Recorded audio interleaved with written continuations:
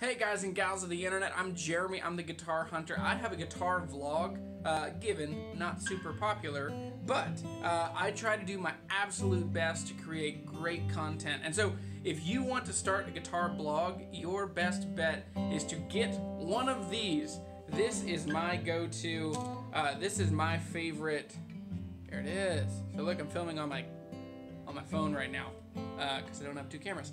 But, so if you want to start a guitar blog, if you want to have a quick, easy camera that makes great videos and helps you uh, just capture the perfect moments with people with great audio, great video at a pretty affordable price, my bet uh, for you is the Canon SL2. So the Canon SL2, it's awesome. Dual pixel autofocus, so that means that it's gonna follow your face wherever you are. And then what's also awesome is when you put your hands up close, it's gonna catch all those things really close.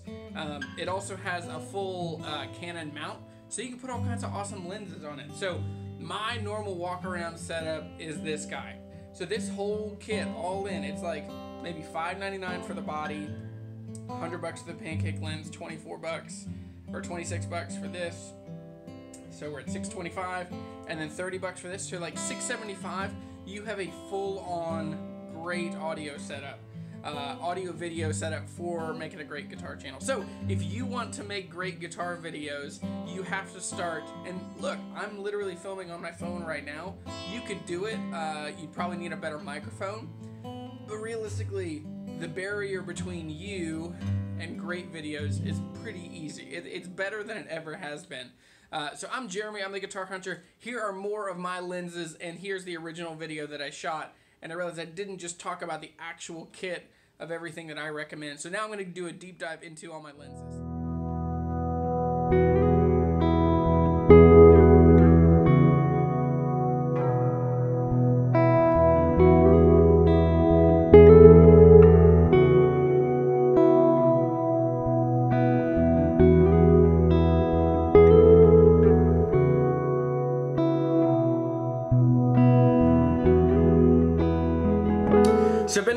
I've been getting asked a little bit of what lenses I use and what camera I use and how I create the videos that I do it.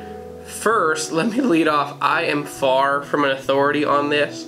Uh, I've liked cameras and video for years. In high school, I was really into photojournalism uh, and some photography. Uh, my first camera was the, the original Canon EOS Rebel, uh, but that was like 2004. So it's been a long time and I haven't really paid attention in a long time. But I'm now back in and I really enjoy it. I'm not that good at it yet, but it is something that I work pretty diligently to be good at. So let's just run through my basic lenses. Uh, I am a huge fan of prime lenses. I only have one zoom lens right now. Uh, so the lens on the camera right now is the Canon EFS 24mm 2.8. That is an awesome lens, especially if you have a crop sensor camera perfect camera for, or perfect lens just for easy walk around, shoot, uh, street view kind of stuff. Because even with the crop factor, it's still a pretty good lens. Uh, then, Nifty 50. Everyone should own one of these. They are awesome. They're just these perfect little light, small 50 millimeter 1.8 lenses that give you great portraits. So I've used them. They work really well for guitars, especially uh, if I'm somewhere where there's a good field or a good uh, depth of field behind the guitar that I'm shooting and I get to do just tons of really cool uh, blurred out backgrounds with really crispy guitars in the foreground. Uh, this one actually just got, this is the Helios 44-2. Uh, I saw a couple YouTube videos on it and I just thought it'd be really cool. It took forever uh, to get here. I ordered this in March uh, and I moved in May. It still had not arrived to me by the time it got to, uh, yeah, by the time we moved, it still wasn't there, and then they ended up losing one, so they to send me another one. It shipped from Russia. These lenses have an awesome history. So the story with these is that uh, after World War II, the Carl Zeiss plant was taken over by the Russians. And so the Russians started taking these Carl Zeiss style lenses and just blowing them out, making as many as they can, really kind of stripping them down to make them uh, really affordable. Uh, what's cool about these is they give you this really cool swirly background. I just got this lens, I've played around with it a little bit. Uh, the intersection of this lens, it's 58 millimeters, it's a f2 with a crop sensor, makes it what? A 90, I think it's a 94 if I remember the math right. Um, but what I've found is for me to get those big swirly backgrounds on a crop sensor camera, I have to be pretty far back. So I haven't been able to really find a good situation where I have so much depth of field that I can get that big swirl and still have my thing that I'm aiming for not be so small in the middle. So anyway, I just need to play with this lens and get to know it. But it is really cool. It's got an unclicked aperture ring. And so and it opens up all the way, super wide. I got uh, the, I forget what these are called, the 42 millimeter screw mount adapters. So I've got that, and then this is a Rexagon. So this was sold in Kmart and Sears. I got this at a camera shop here in town. I think it is so cool. So it's this funky vintage lens. Uh, this was basically a kit lens that would have come with a 35 millimeter uh, in the late 70s, early 80s. And I just think it's so cool. It gives me these like cool, misty, hazy, uh, UV blown out.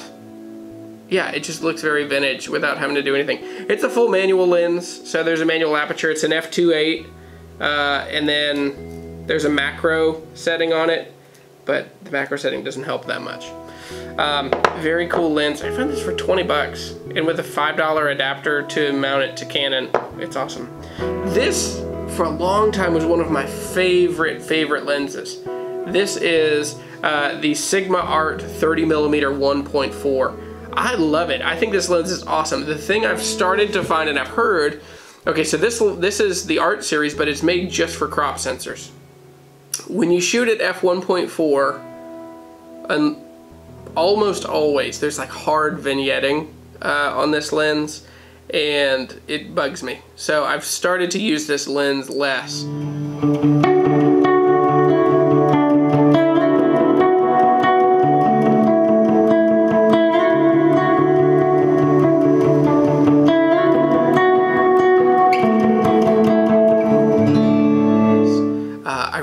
Think I, I think I want to get the 30 millimeter or the, I think I want to get the 24 millimeter. That would be a, that'd be a good lens for me. I'm still trying to figure out if I'm going to stick with Canon or if I'm going to make the jump like a lot of people are.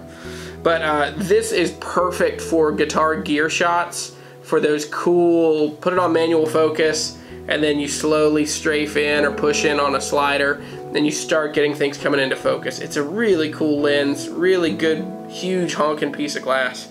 Um, and then this, this is probably, it, it is definitely the best lens that I own.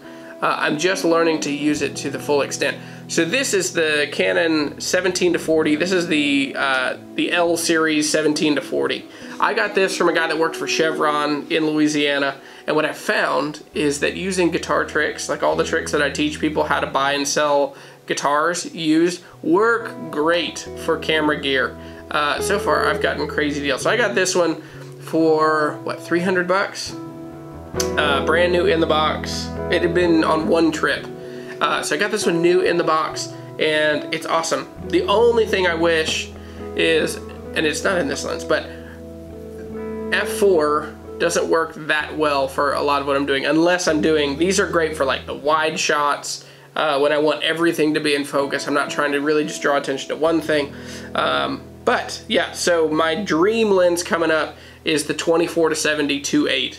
Uh, but I think I need to wait and get a better camera body before I do that. But, so these are the lenses that I use to make all of my guitar videos. Uh, what is really cool is the skill set behind learning how to buy and sell cool old guitars also really works with these. So if you have questions, comments, or slanderous remarks, please let me know in the captions below.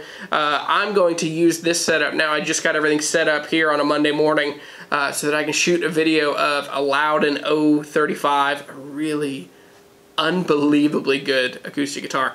So uh, for that, I'm probably going to use the 50 millimeter at some point. My office is a little small for this lens. Um, I'm going to try and use the Helios, to see if I can get some cool like macro, funky, uh, swirly shots. I don't know. We'll see. I guess you'll know more than before I will. Uh, and then for the most part, I'm probably going to stick with uh, the 17 to 40. I'm Jeremy. I'm the Guitar Hunter. I teach people how to buy and sell cool old guitars. So if that's something you're into, I'd love for a like, a subscribe, and share. Uh, this is not a super guitar video, but this is my camera gear and what I use to uh, make all of my videos. So thank you. I'm trying every day to become more talented and to hone my skills for videography and photography and to help get better pictures and better stories of guitars because I believe that they make the world a better place. And so as you get better at all the details, the story becomes louder and more clear, and that's my goal. So thanks, everybody. We'll see you later.